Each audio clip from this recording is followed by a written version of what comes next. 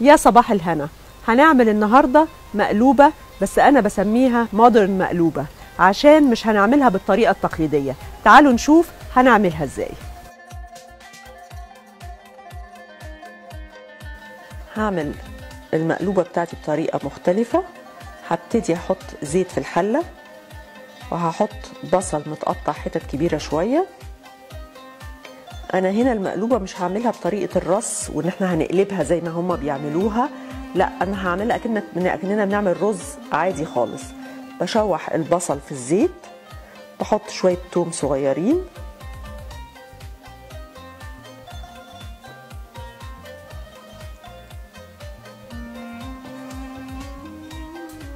بخلي البصل كده يا دوبك يتشوح شوية.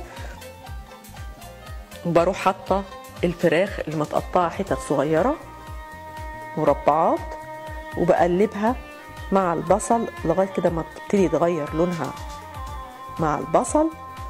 وبروح حاطة الفلفل الرومي الأخضر متقطع برضو مربعات. بفضل إنه كله يبقى متقطع مقاس واحد على قد ما نقدر طبعا. البصل الفلفل الفراخ كله بيبقى مقاس واحد. وهبتدي أحط البهارات قرفة بنحط معلقة صغيرة قرفة ملح وفلفل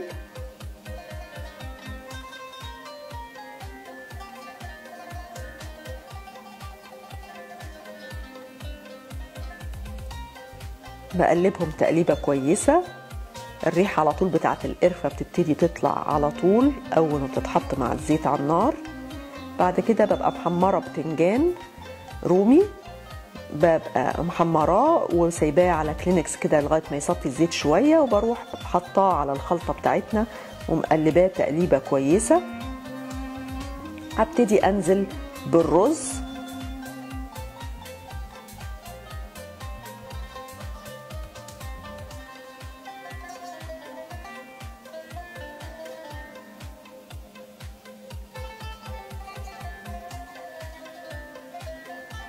هقلبه تقليبة مع الفراخ والفلفل لغاية ما أحس إن هو اتمزج كله مع بعضه. وأروح نازلة بالمرقة. برضو زي ما بقول إن ممكن نحط مية وممكن نحط مرقة على أساس إن في فراخ في في الرز فهي ممكن تخر مرقتها. لكن أنا بحب دايما أدي شوية دسم بالمرقة. هحط المرقة. وهقلب تقليبة واحدة أتأكد إنه كله ميكس كويس. بعد كده هغطي عليه لغاية ما ياخد غاليه غلوة واحدة. حسيت أهو إنه لسه محتاج شوية مرقة كمان فبزودها له. هغطي عليه. أول ما يغلي غلوة أروح موطية على النار.